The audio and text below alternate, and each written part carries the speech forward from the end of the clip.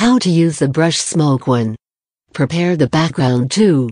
Use the adjustment layer hue saturation adjust as needed 3.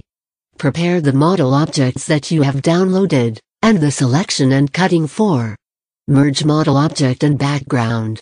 5. Create a new layer under layer model objects to create a smoke effect or fogging.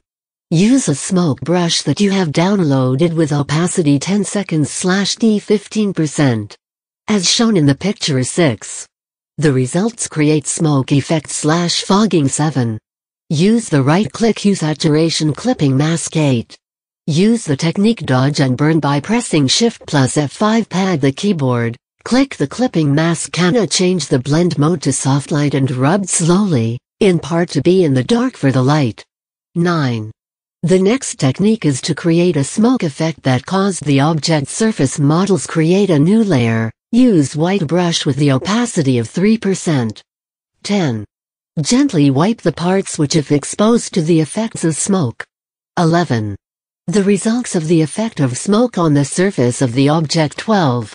The use of brightness and contrast adjustment layer as needed. 13.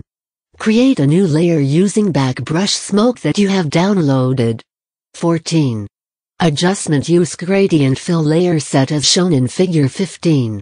Adjustment layer using a solid color with the color as you wish 16. Adjustment to use color balance adjustment layer with the color tone of a solid color 17.